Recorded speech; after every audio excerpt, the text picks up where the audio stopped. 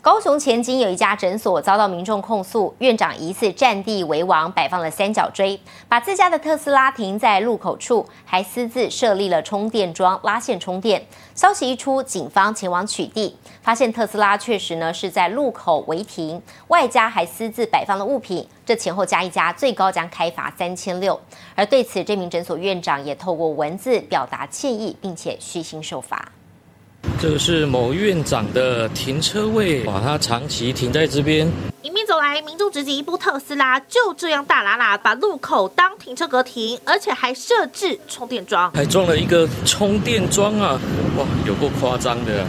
占地为王的概念呢？仔细看，特斯拉正在充电，电线垂地，还有交通三角锥围在旁边。不过没画红线，能不能停，引发争议。我觉得车子的话停这边，我觉得不方便。我是看这无围线，敢会使停？普通咱百姓咱可以知啦。大部分民众都觉得应该能停吧，不过会被民众抨击也不是没原因。这地点就在高雄前进区一处诊所旁，而画面曝光，网友也加入讨论，调侃有钱买车却没钱买车位。但也有人说，到底是羡慕还是嫉妒啊？还特地去拍，但毕竟将自家爱车停在有标示标线的地方，引发争议，警方也到场取缔。违停属实，可处罚新台币六百至一千二，并针对现场道路障碍部分，可处罚新台币一千二至两。两千四。现场一量，路口十公尺内不能停车，车辆停放位置违规事实明确。而面对控诉，院方人员也出面回应：我们不晓得啊，啊，人家既然检举啊，啊不停了，我们就不接停。至于遭到民众点名指控，院长也透过文字表示歉意，将虚心受罚，往后会守法，也希望争议就此落幕。记者陈真、肖正告诉不到。